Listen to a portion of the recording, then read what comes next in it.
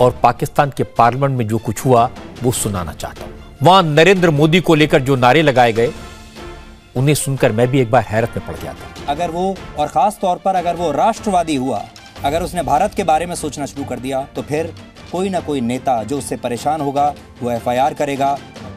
My dear friends Hindu मुसलमान की आप बात करते हैं? इस देश का विभाजन हिंदू मुसलमान के नाम पे हुआ था उन्नीस सौ सैंतालीस और ये कौन दुष्प्रचार करता रहता, फालतू बात करता रहता है।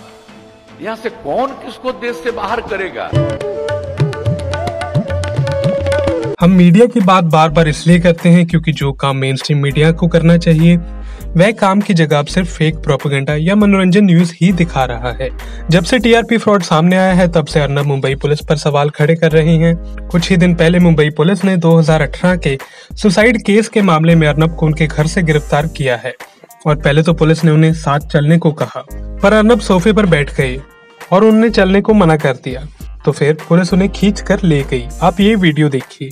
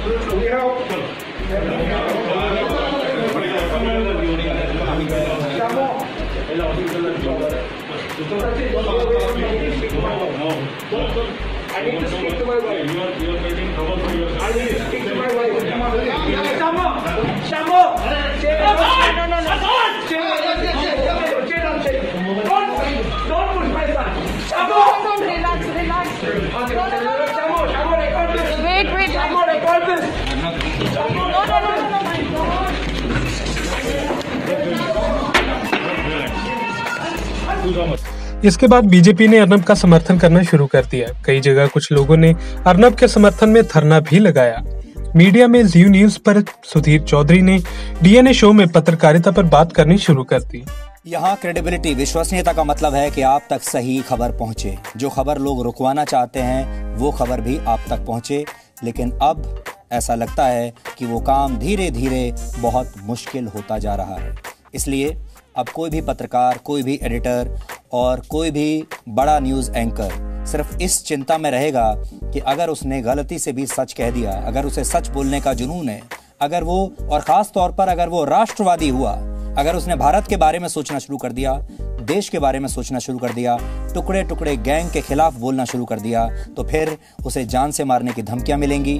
और अगर वहाँ से भी बच गया तो फिर किसी न किसी राज्य में कोई ना कोई सरकार कोई ना कोई नेता जो उससे परेशान होगा वो एफआईआर करेगा और फिर अदालती चक्कर शुरू हो जाएँगे और पूरा जीवन इसी में बीत जाएगा। वैसे ये वही सुधीर जी हैं जो टीआरपी स्कैम सामने आने के बाद से ही लगातार बातों ही बातों में रिपब्लिक की रिपोर्टिंग पर सवाल उठा रहे थे। इन सारी खबरों में एक समानता है और वो समानता है टीआरपी की रेस। मीडिया के एक वर्ग ने इन सभी मामलों में अपने एजेंडे की मिलावट करके एक खास पक्ष को फ़ायदा पहुँचाने की कोशिश की और अपने हिसाब से उन्होंने एक कहानी पहले से ही बुन ली। शाहीन बाग को लेकर भी पहले ही कहानी की स्क्रिप्ट लिख ली गई, चाहे सच्चाई कुछ भी हो। सुशांत सिंह राजपूत को लेकर भी पहले ही स्क्रिप्ट लिख ली गई, कहानी लिख ली गई। जाँच में क्या निकलेगा, ये पहले ही पता चल गया और उसी के हिसाब से देश का मीडिया चलता रहा। और ऐसा करने की कोशिश में कुछ न्यूज़ चैनल पत्रकारिता की लक्ष्मण रेखा को लांग कर बहुत ज़्यादा आगे निकल गए। अब पूरे देश में इस बात की चर्चा हो रही है कि न्यूज़ चैनल हम न्यूज़ के लिए देख रहे हैं या मनोरंजन के लिए देख रहे हैं। न्यूज़ मीडिया में हमें ज़्यादातर क्या देखने को मिलता है, पाकिस्तान या हिंदू मुस्लिम? तो पहले पाकिस्तान पर ही बात कर लेते हैं। कुछ दिन पहले पाकिस्तान की पार्लियामेंट का एक वीडियो वायरल हुआ था। जिसमें मोदी मोदी के नारे लगे थे। जिसका जब फैक्ट चेक हुआ, तब पता चला कि वह वोटिंग वोटिंग के नारे थे। ये मोदी मोदी वाला क्लिप इंडिया टीवी के एक शो में दिखाया गया था, जिसमें होस्ट रजत शर्मा कर रहे थे और वह मान भी रहे थे कि ये मोदी मोदी के नारे हैं। आज सबसे पहले मैं आपको पाकिस्तान की पार्लियामेंट की कुछ तस्वीरें दिखाना चाहता हूँ और पाकिस्तान के पार्लियामेंट में जो कुछ हुआ, वो सुनाना चाहता हूँ। आप भी हैरान हो जाएँगे। वहाँ नरेंद्र मोदी को लेकर जो नारे लगाए गए, उन्हें सुनकर मैं भी एक बार हैरत में पड़ गया था। पहले तो मुझे लगा ऐसा कैसे हो सकता है? पाकिस्तान के पार्लियामेंट और मोदी के नाम के नारे, ये कैसे हो सकता है? कौन लगाएगा? क्यों लगाएगा? तो मैंने पाकिस्तान के पार्लियामेंट की इस कार्रवाई के वीडियोस को कई बार देखा और फिर पाकिस्तान में मौजूद कुछ लोगों से इसे कंफर्म किया। और यह हकीकत सामने आई कि पाकिस्तान के पार्लियामेंट में नरेंद्र मोदी को कई बार याद किया गया। उनके नाम पर कई बार नारे लगे। आइए अब हिंदू मुस्लिम के टॉपिक पर भी बात कर लेते हैं, जो मेन स्ट्रीम मीडिया के कुछ चैनलों का पसंदीदा टॉपिक है। अब तक आपने देश में लव जिहाद के बारे में सुना होगा, इतना ही नहीं तो ज़मीन जिहाद तो सुना ही होगा। अब एक और नया हैशटैग धर्मांतरण जिहाद काफ़ी वायरल हो रहा है जो कि वरिष्ठ पत्रकार दीपक चौरसिया की ओर से फैलाया जा रहा है। आप उनके कुछ ट्वीट से ये समझ ही जाएँगे।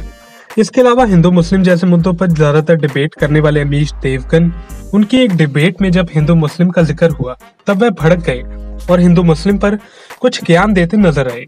पात्रा यहाँ सिर्फ़ बात होगी नफरत अगर इनका हो गया हो तो। यहाँ सिर्फ़ बात होगी हिंदू मुस्लिम को लड़ाने की। देखिए अगर अगर हो गया हो मेरी लोग करते रहते हैं। हिंदू मुसलमान करते रहते हैं? एक मेरी तो अभिव्यक्ति की आज़ादी है तो मैं बोल आज लूँ मैं जरा। वो तमाम लोगों को रुकिए व्यूअर्स अच्छा आप लोग क्या हिंदू मुसलमान करते रहते हैं? संबित पात्रा मुझे पंद्रह सेकंड दीजिए जरा। क्या हम हिंदू मुसलमान करते रहते हैं? हिंदू मुसलमान हिंदू मुसलमान हिंदू मुसलमान? कई लोग मुझे बोलते हैं कि बड़े हिंदू मुसलमान होने लग गया इस कंट्री के अंदर। Having a class of and saying बड़ा हिंदू मुसलमान होने लग गया इस कंट्री के अंदर. माय डियर फ्रेंड्स हिंदू मुसलमान की आप बात करते हैं? इस देश का विभाजन हिंदू मुसलमान के नाम पे हुआ था उन्नीस सौ सैंतालीस।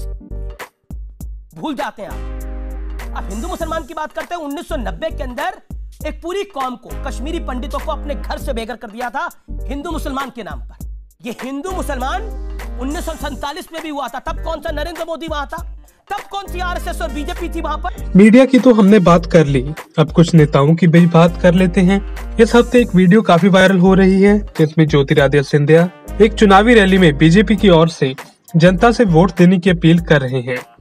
तभी उन्होंने बीजेपी की जगह कांग्रेस का नाम बोल दिया। तो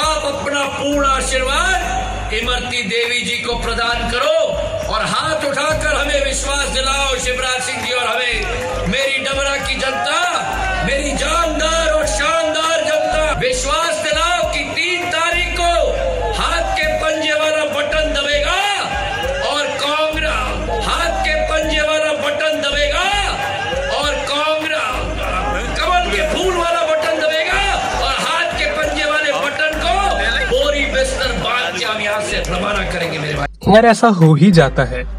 वह काफ़ी लंबे समय से जो कि कांग्रेस में थे और अब बीजेपी में हाल ही में आए हैं। इसके अलावा नीतीश कुमार जो कि बीजेपी के साथ बिहार में चुनाव लड़ रहे हैं वह कुछ एक बीजेपी नेता के बयान पर उनकी आलोचना करते दिखाई दे रहे हैं।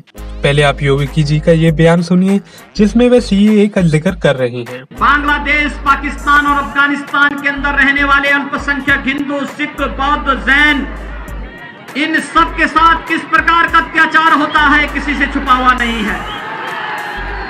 नागरिकता संशोधन कानून के माध्यम से उनकी सुरक्षा का, की गारंटी देने का कार्य जहाँ प्रधानमंत्री मोदी जी ने किया है, वहीं भारत सरकार ने इस बात को भी कहा है, अगर कोई घुसपैठ या भारत की सुरक्षा पर सेंध लगाने का कुत्सित प्रयास कर रहा है, उसे निकाल बाहर करने का कार्य भी करेंगे। इस बयान का नीतीश कुमार ने अपनी रैली में ज़िक्र किया और अपने सहयोगी पार्टी बीजेपी की आलोचना कर दी। और ये कौन दुष्प्रचार करता रहता, फालतू बात करता रहता है? यहाँ से कौन किसको देश से बाहर करेगा? ऐसा इस देश में किसी में दम नहीं है कि हमारे लोगों को सब हिंदुस्तान के हैं, सब भारत के हैं। कौन इसको बाहर करेगा साहब? ये सब कैसी बात करते रहते हैं यूँ ही? हम तो आपने जब से मौका दिया है, आप बताइए। समाज में प्रेम का, भाईचारे का, सद्भावना का माहौल पैदा किया सबको एकजुट करने की हमने कोशिश की है। कुछ लोग चाहते हैं समाज में झगड़ा चलता रहे, कोई काम करने की ज़रूरत नहीं है। और हम तो काम करते रहते हैं। और हमारा मकसद यही है कि जब सब लोग प्रेम से, भाईचारे से, सद्भावना के साथ रहेंगे, तभी समाज आगे बढ़ेगा। लोग आगे बढ़ेंगे, तरक्की करेंगे। गोदी मीडिया कुछ भी दिखाए हम आपको सही और जनता के मुद्दों पर न्यूज़ दिखाते रहेंगे और मीडिया की आलोचना भी करते रहेंगे ताकि वह सरकार से जनता के मुद्दों पर सवाल करना शुरू करे bureau report Punjab today TV If you like our channel, please subscribe and to get notifications about news, please click the bell icon.